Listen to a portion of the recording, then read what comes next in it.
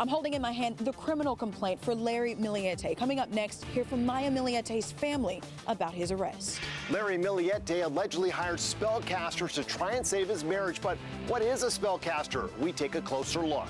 Belongings believed to be those of the missing fiance of Gabby Petito and possible human remains have been found in Florida.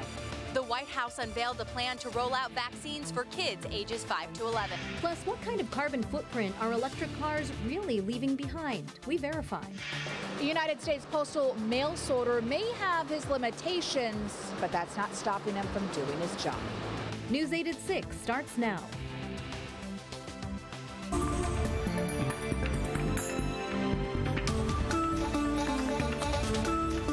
Maya Millete's family is still pleading for answers one day after Maya's husband, Larry Millete, was arrested on suspicion of her murder.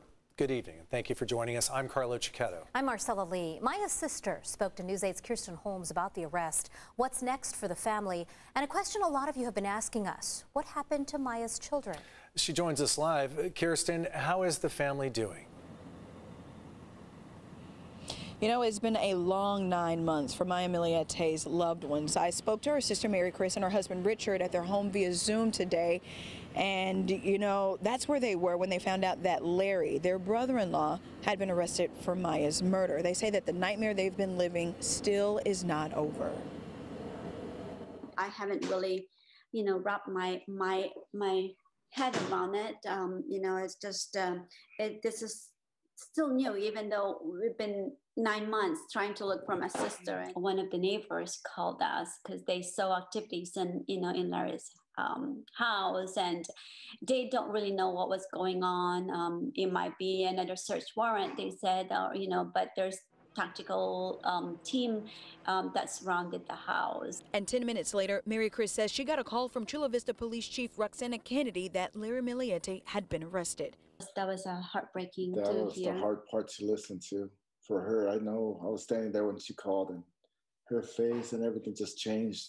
Her attitude changed, her, and she just started crying. And now their focus shifts to what they say is the next phase. Our goal is to find, bring her home, my sister. Um, so that's been our main focus. And reconnect with Maya's children, who Mary Chris says they haven't talked to since January. We have to follow, you know, the rules, the court. We, as a family, really, really wanted to to be with the kids because they're my sisters. You know, they're they're my sister, and um, you know, they're they're the only connection we have. Meanwhile, she thanks the community for the outpouring of support.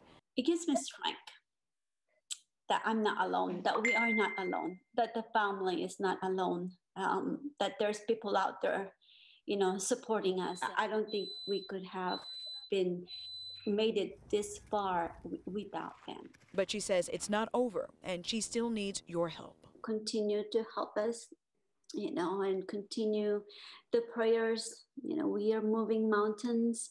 Continue sending us the messages because it gives us strength uh, to keep on going. Um, you know, for people that's been out there searching with us.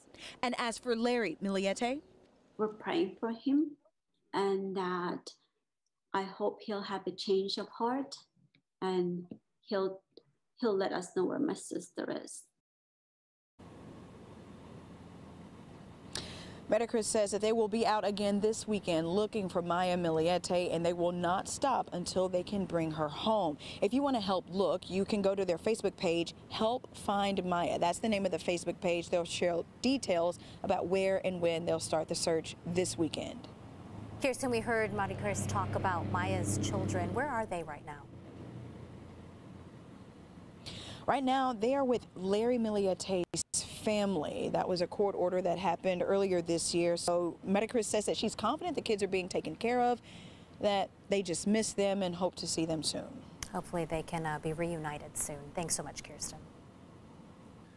Meantime, Larry Millete's first court appearance is scheduled for tomorrow, but we're already learning new details about the case through recently filed court documents. They include new information about spellcasters Larry hired. So what are those? What exactly is a spellcaster? News 8 Steve Price takes a closer look. These court documents obtained by News 8 show the lengths Larry Millete went to to try and prevent his wife May from ending their marriage. They include hiring spellcasters, people you pay money to to cast a spell over others. I've never had a case where that was involved. District Attorney Summer Stephan has seen a lot in her 30 years with the DA's office, but what's inside these court documents is a first. These spellcasters would be asked to make May want to stay in the relationship. We found more than a dozen spellcasters on the internet, most offering the same services that include love spells, voodoo spells, and stop divorce spells. According to the court documents, Larry was a frequent customer.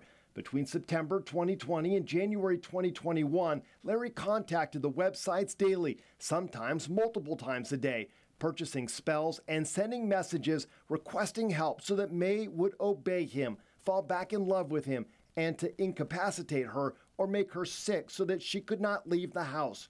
In December, when it became clear that May was serious about leaving, authorities say Larry's tone changed dramatically. Specifically, one message from Larry on December 27th states, Please punish May and incapacitate her enough so she can't leave the house. It's time to take the gloves off.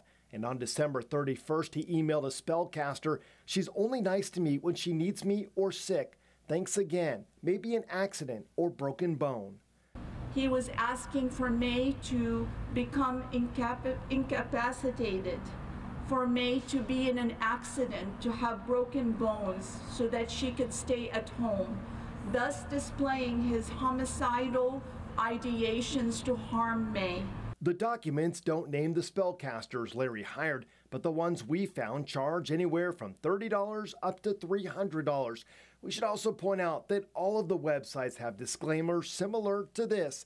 The spells, rituals, and techniques listed on this site are for entertainment purposes only. Steve Price, News 8. A month-long search for the missing fiance of Gabby Petito may have taken a new turn. Investigators say they found possible human remains in a park in Sarasota County, Florida. As Elise Preston reports, the discovery comes a month after the remains of Gabby Petito were found in Wyoming. The investigation intensified in this thickly wooded Florida park after the discovery of what the FBI describes as items of interest. Earlier today, investigators found what appears to be human remains, along with personal items such as a backpack and notebook belonging to Brian Laundrie. These items were found in an area that up until recently had been underwater. A dog and two spotters joined the search, as well as Laundrie's parents, in a park connected to the giant reserve investigators have been combing for weeks. Our evidence response team is on scene using all available forensic resources to process the area. It's likely the team will be on scene for several days. They wanted to speak to the 23 year old since the disappearance of his fiancee Gabby Petito over the summer. The couple had been on a road trip when Petito dropped out of contact and disappeared. Her body was found in Wyoming last month, and the coroner said she was strangled to death. We need answers. The case has drawn protesters from around the country demanding answers from the Laundrie family. Anything that provides answers for Gabby Petito and provides justice for Gabby Petito, I am all for. I've been out here working my, my tail off 10 hours a day in this heat uh, for over a month, you know, trying to pressure the family for answers. Laundrie's parents told investigators after their son returned to Florida without Petito, he headed into the woods and never came home. Elise Preston, CBS News. Homicide investigators are looking into a suspicious death in Bonita. Sheriff's officials say a deputy found the body of a woman while on patrol early this morning near Sweetwater and Quarry Roads. They say the victim appeared to have been shot. No other details have been provided. Anyone with information about this case is asked to call the Sheriff's Department or Crime Stoppers. A high-speed chase through the South Bay ended in a dramatic takedown by a police dog. National City Police say the chase through several freeways and on surface streets ended at 22nd Street in National City. That's where you see it there.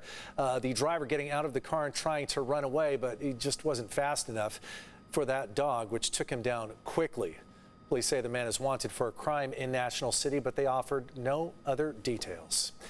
Children ages 5 to 11 will soon be eligible for a COVID 19 shot. Today, the White House unveiled its plan to roll out the vaccine for young kids immediately after it's approved by the FDA. News 8's Dana Marie McNichol has more on this detailed plan. Now, the CDC and the FDA will be discussing this over the next two weeks, whether to approve it or not.